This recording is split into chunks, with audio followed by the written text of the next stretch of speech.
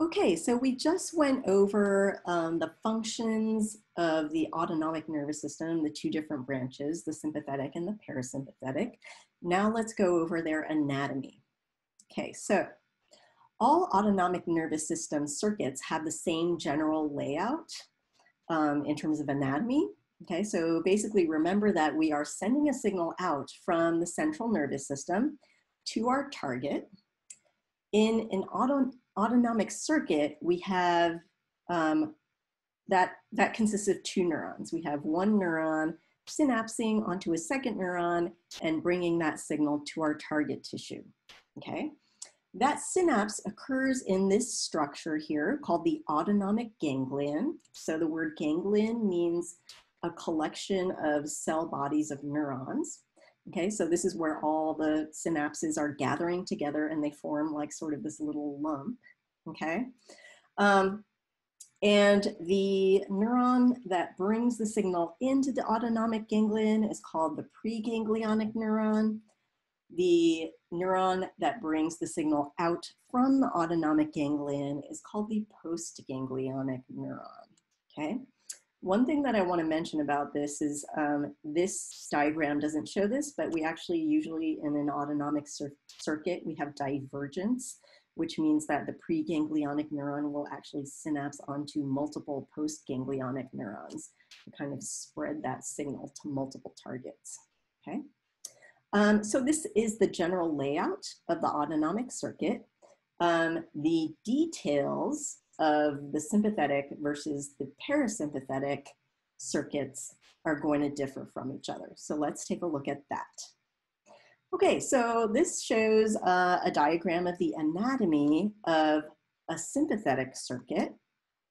Okay, so um, in a sympathetic circuit, most of the preganglionic neurons are going to originate from this sort of central portion of the spinal cord, the thoracic and lumbar sections of the spinal cord. Don't worry about the names, okay? And the ganglia tend to be, so ganglia is plural of ganglion, okay? The ganglia tend to be close to the spinal cord, okay? And in the sympathetic nervous system, they actually form, many of the ganglia actually form a chain called the sympathetic chain, okay? Not all of them. As you can see, some of the ganglia lie outside of the sympathetic chain. Um, but that brings up this question. So think about if we have the ganglia close to the spinal cord, what does that say about the relative lengths of the preganglionic and the postganglionic axons?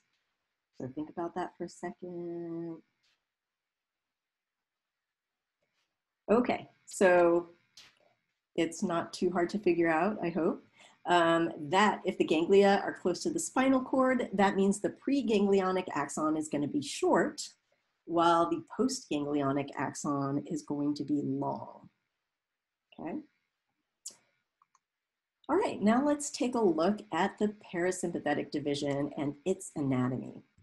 In the parasympathetic division, our preganglionic neurons generally originate in the top, like above the spinal cord actually, in the brain stem, which is a part of the brain, okay?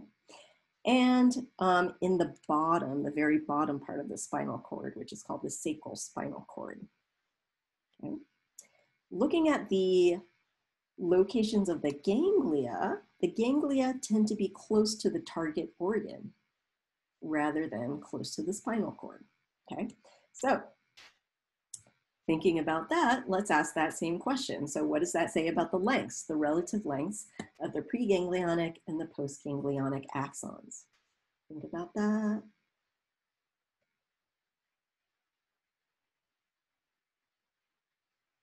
Okay, so hopefully you figured out that the location of the ganglia means that the preganglionic axon is going to tend to be longer and the postganglionic axon is going to tend to be shorter.